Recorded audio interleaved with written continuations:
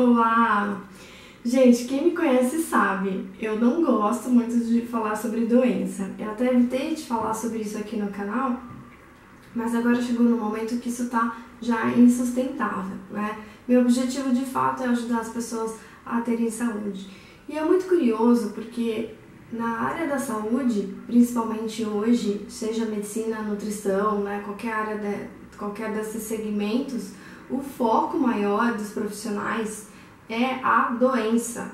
Gente, é absurdo, né? Muito pouco se ensina sobre o que, sobre quais são os elementos que geram saúde, o que você pode fazer para realmente viver bem, né? Isso realmente ai, muitas vezes me irrita muito, né? E aí, o que acontece? É, as pessoas sabem o que de fato pode evitar a doença, mas não sabem o que fazer para gerar saúde. E sabe o que acontece? Que, por que, que isso, isso não é tão falado, na verdade, né? Porque saúde, gente, depende de coisas simples, depende de pequenos atos. E se você for observar, são os pequenos atos, são as coisas simples que geram saúde e bem-estar no dia a dia que as pessoas menos estão fazendo. Então, realmente, isso é muito preocupante. As pessoas preferem pagar tratamento estético ao invés de comer bem e fazer ginástica. Preferem tomar ansiolítico do que trabalhar a paciência e o autoconhecimento, por exemplo. Ou preferem consumir alimentos que são industrializados e fortificados com vitaminas, ao invés de consumirem alimentos que são naturais e integrais. Né? Então as coisas estão ficando um pouco do avesso e é lógico, onde é que vai aparecer a saúde? Não vai aparecer a saúde, vai aparecer a doença. Né? Isso é muito, é muito óbvio, só realmente observar como é que o mundo está caminhando. Antigamente, saúde era entendido como ausência de doença.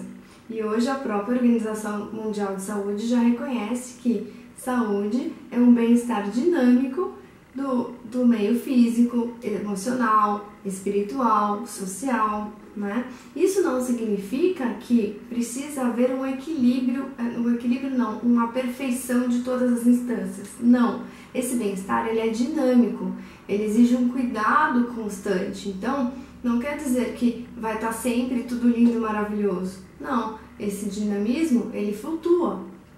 Então, uma hora tá legal, outra hora tá um pouquinho mais embaixo, precisa de um pouco mais de cuidado, de reparos, né? E também não são todos, todos os setores da nossa vida que estão sempre caminhando super bem. A questão é você é, gerar um autocuidado, conseguir realmente gerenciar bem e né, com sabedoria todas essas instâncias na medida do possível dentro da rotina. E mesmo que você se cuide, é lógico que em algum momento você vai se sentir triste, você vai se sentir cansado, você pode pegar uma gripe um resfriado, por exemplo. Né? Isso pode acontecer com qualquer indivíduo, ok? É, então, assim, a saúde, ela pode sim ser abalada. O que vai depender é como você reage a essas situações. Então, qual é, o que, que você pode fazer dentro da sua rotina que pode sim te deixar é, saudável. Então, independente se você está com alguma doença ou não e se toma algum medicamento para esse tratamento ou não, você precisa sim cuidar da saúde todos os dias através de uma rotina saudável e que possa ser nutridora em todos os níveis, tá? Esse é o meu recado para você essa semana. Um beijo e até o próximo vídeo.